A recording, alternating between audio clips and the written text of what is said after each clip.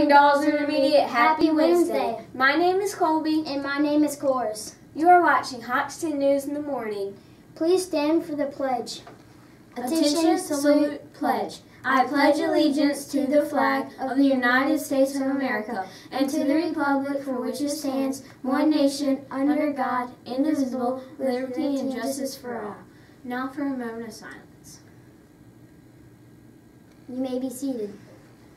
Today for lunch we are having red beans and rice, turnip greens, black-eyed peas, cornbread, and mandarin oranges. On Friday, you can wear jerseys, a jersey or shirt that is college colors and uniform bottoms. You may also wear jeans for $1. Student council elections are this Friday. Practice those speeches. You've been watching Hawks 10 News in the morning. Tune in again next time for more breaking news. Have, a wonderful Wednesday. Bye.